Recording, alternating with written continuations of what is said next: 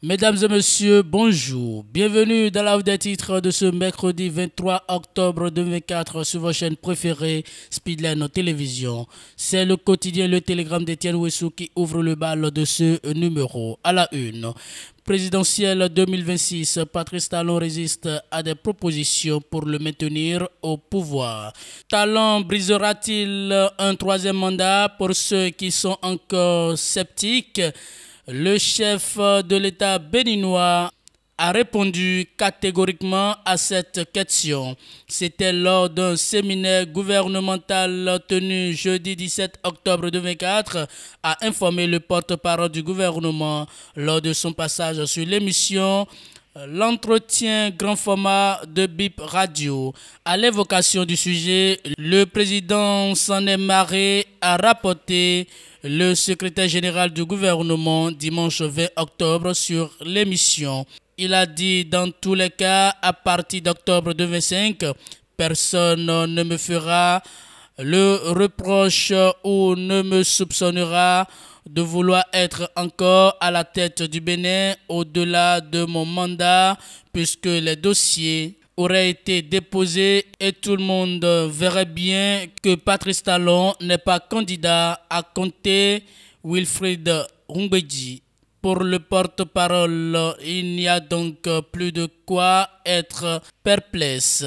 Je suis en assurance de répéter ces mots et de vous dire qu'en 2026, M.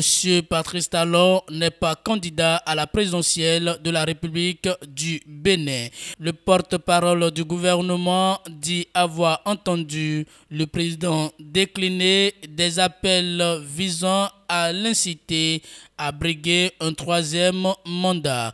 Vous aurez plus de détails dans les colonnes de ce journal.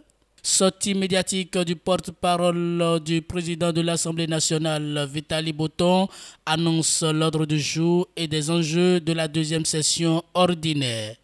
Pour le porte-parole du président Louis Vlavonou, cette deuxième session ordinaire de l'Assemblée nationale au titre de l'année 2024 s'inscrit dans une dynamique de renforcement des institutions et de modernisation des cadres législatifs de notre pays.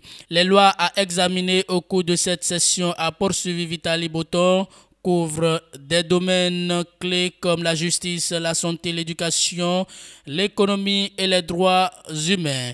Parmi les enjeux majeurs de cette session, le porte-parole du président Louis Béounou Vlavonou a insisté sur la préparation du budget de V5, le renforcement de l'état de droit par le biais des réformes judiciaires, notamment avec la création de l'agence judiciaire de l'État et enfin la protection des ressources agricoles via l'adhésion de l'Union internationale pour la protection des obtentions végétales afin de favoriser l'agriculture béninoise sur la scène internationale.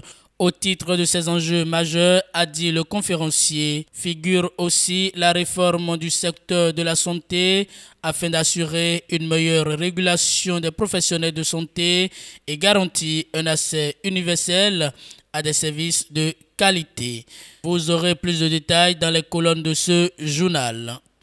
Copargo, la police fait une saisie de près de 150 kg de produits pharmaceutiques. La saisie a été opérée auprès d'une dame qui s'adonne à ce commerce illicite.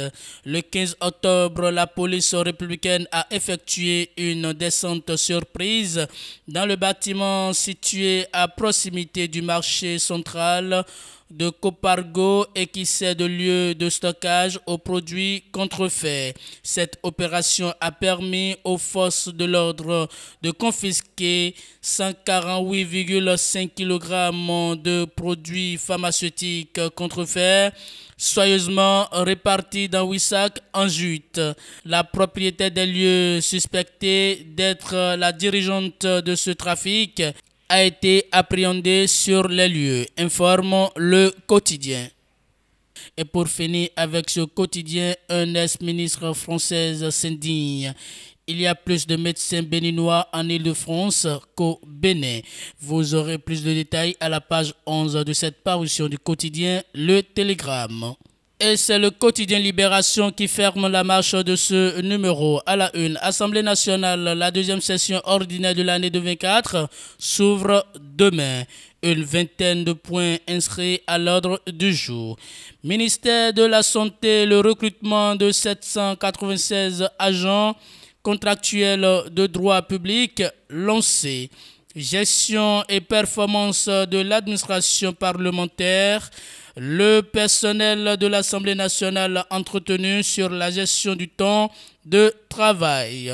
Vous aurez les détails dans les colonnes de ce journal. Année universitaire 2024-2025, les demandes d'allocation lancées, informe le quotidien. Un vol et recel de motocyclettes, un réseau de malfaiteurs démantelé à Accra Misrete. Mesdames et messieurs, et c'est tout pour la des titres de ce mercredi 23 octobre 2004 sur vos chaînes préférées, Speedline Télévision. Merci pour votre fidélité, écoute et attention. Passez une très bonne journée.